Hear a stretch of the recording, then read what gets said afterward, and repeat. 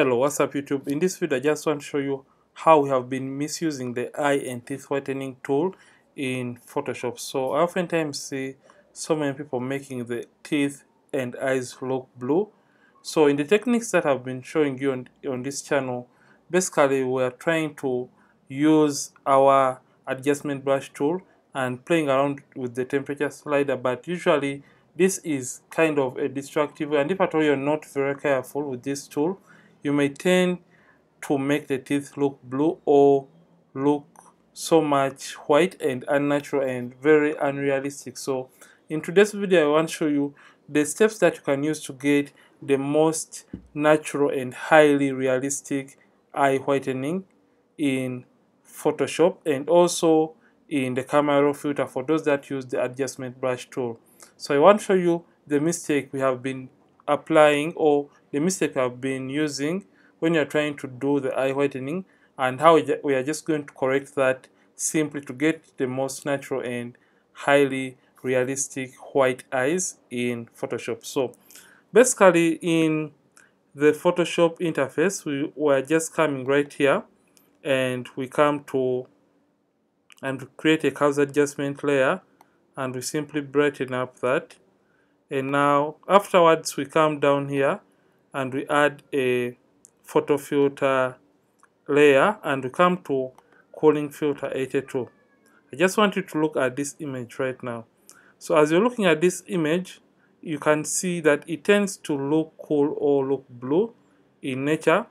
And other times we come and we simply apply maybe a hue saturation and luminance slider or layer and we just desaturate that layer so oftentimes this this can work for you. But when you do this I want you to look at this image. And we are going to group these layers. So when you do this remember you added a cooling filter within. I've grouped everything. So remember we added a cooling filter. So I'm just going to hold down alternate and I click on the layer mask to invert everything. And I'm just going to get the brush tool white as the foreground and I'm going to zoom in and paint within the eyes and teeth to try and do what I've been calling as the eye whitening technique. So you can see this can look good and can look good depending on uh, the monitor that you're using to do the eye whitening but in this case if at all you're not very careful you may be having or you may end up having blue eyes or blue teeth in the image. So you can see right now we are having that kind of blue bluish filter within our eye whitening brush. So I'm just going to come and I do the same for the teeth and try to do the teeth whitening. And you can see our teeth are going to look right now I'm just trying to be careful but there are people that tend to go overboard with this technique and you end up with blue teeth. So just want to show if I told you are not be or you're not careful and you don't have control over this technique I just want to show you the other technique that is going to enable you have the most natural you can see right now the teeth look a little bit blue in color if at all your monitor is calibrated you can see the teeth and eyes are looking blue instead you can see before and after so I'm just going to turn this off and I repeat the same process and I show you the most natural way for those that use Photoshop to do eye and teeth whitening. So basically, we can just come and create our curves adjustment layer and simply brighten up the eyes just slightly. And after doing that, I'm just going to come and instead of creating a photo filter adjustment layer, I'm just going to come to the hue and saturation and I'm just going to desaturate the colors. Remember, when you're doing teeth whitening, we are, we are just basically, or when you're doing eye and teeth whitening, you're just trying to basically get rid of those other random colors in the white areas. And since I feel like this is going to be okay and enough for us, I'm just going to come and turn the saturation all the way down. And you can see right now the teeth and eyes are not looking blue. So you can just desaturate this and you can see it's going to be getting you the most natural and realistic eye and teeth whitening. So I'm just going to group this by selecting both and hitting Ctrl Command G on the keyboard and by holding down alternate key and clicking on the layer mask icon and I'm going to do that and create that. And using a white brush I'm just going to zoom in and simply paint in the white areas. Remember we're just whitening the eyes and simply not making them look blue in this case. So I'm just going to do this and paint within the eyes and you can see the eyes are really natural and they are very real and they are not looking blue. So if at all we have been using that kind of photo filter adjustment layer within our eye and teeth whitening actions I wouldn't recommend that. And I know I've also been using the same technique to do the eye and teeth whitening. So I, I want us to compare what looks real at the end of uh, this within Photoshop. Then we are going to go straight into Camera Raw and we see how we can find a way to work with the eye and teeth whitening in the Camera Raw filter so that we can have the most natural and highly realistic eyes and teeth in the Camera Raw filter. I'm just going to paint through the teeth just like that.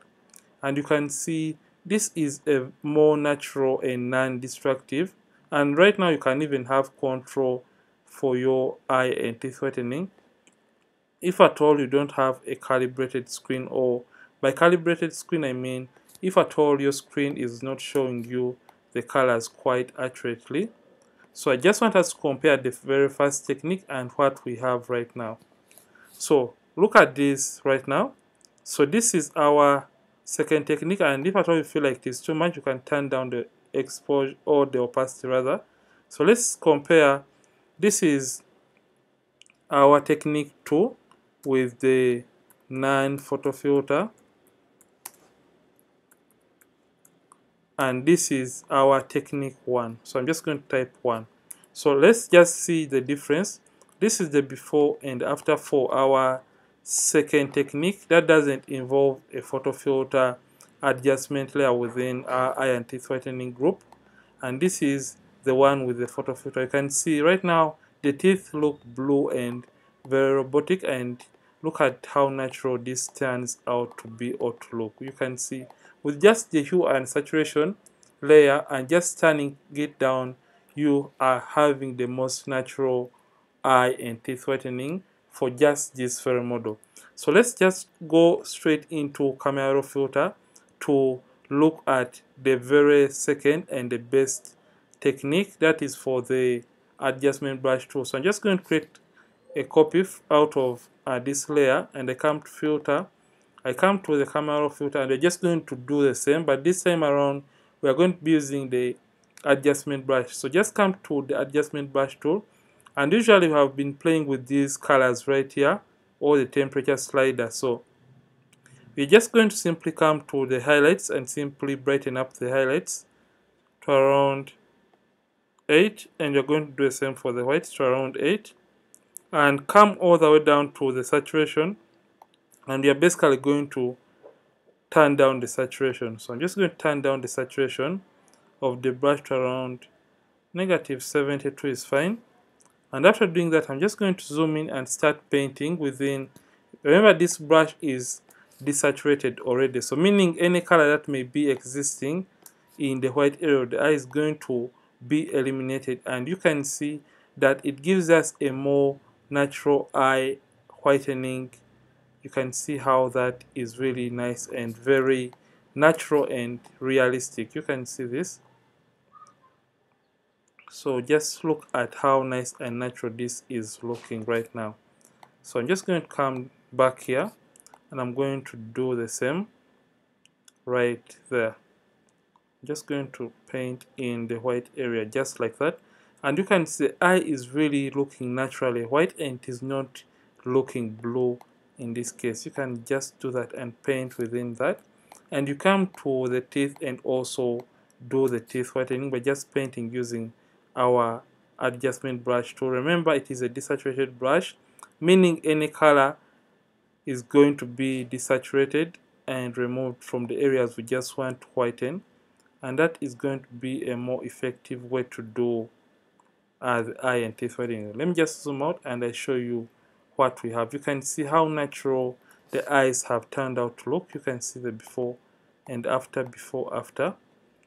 And if at all you feel like that is a little bit intense, you can just come and simply turn up the saturation slightly for your adjustment brush tool and that's the before and after before after and remember usually we have just been adding a cooling filter within our brush and we simply take up this.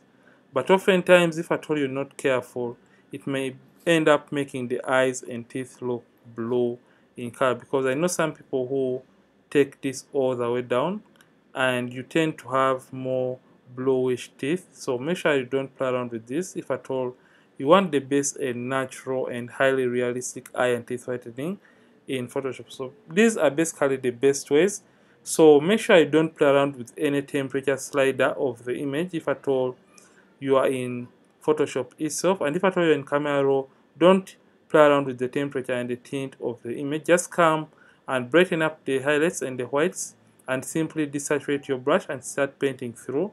And if at all you are in Photoshop just make sure you don't apply this photo filter or that cooling filter because it's going to be adding a bluish feel meaning when you start painting within the eyes and teeth it is going to make them look blue. And you can see this is a more natural result uh, than this. You can see how blue this has turned out to look and how unnatural that has turned out to look. So basically this is not what we are meant to do when it comes to eye and teeth whitening and this is what we have to do to have the most natural results as it in regards to eye and teeth whitening so this is all for this video. And if at all you found this helpful don't forget to like this video don't forget to subscribe this channel.